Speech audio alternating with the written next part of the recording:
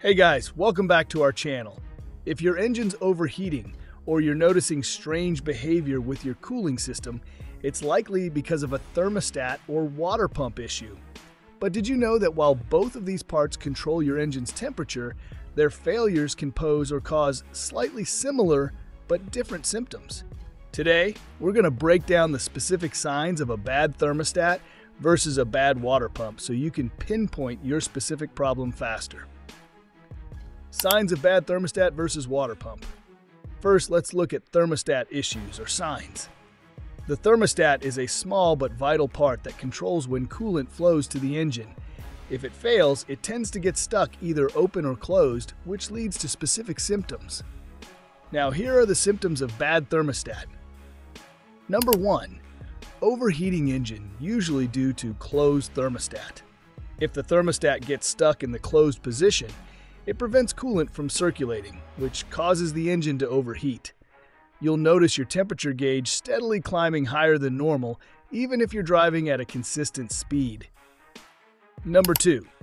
Erratic temperature gauge. If your thermostat is stuck open or malfunctioning, it can cause the temperature gauge to fluctuate wildly. You might see the needle jump up and down, making it seem like your engine is constantly shifting between too hot and too cold. Number 3. Cold heater in the cabin. When a thermostat fails and gets stuck open, the engine doesn't warm up properly.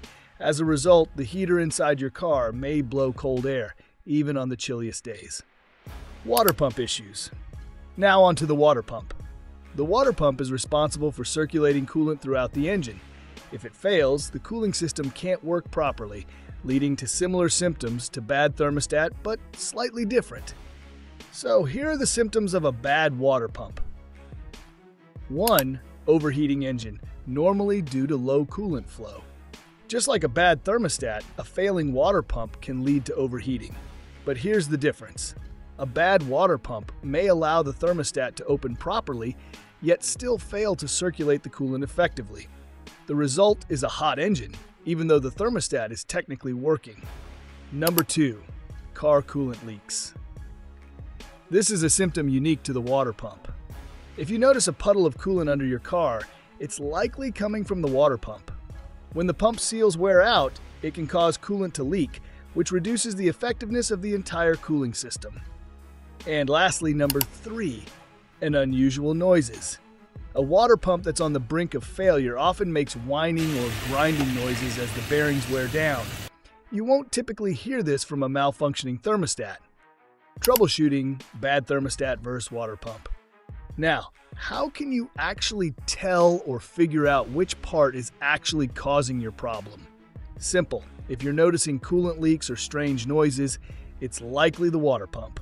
If your temperature gauge is erratic or the engine is running hot even though you're driving steadily, the thermostat is most likely the issue. Now, if you found this video to be helpful and you're ready to get better on diagnosing and fixing issues in your car by yourself, then download our ultimate troubleshooting cheat sheet and car maintenance checklist. The link to grab your copy will be in the description box below.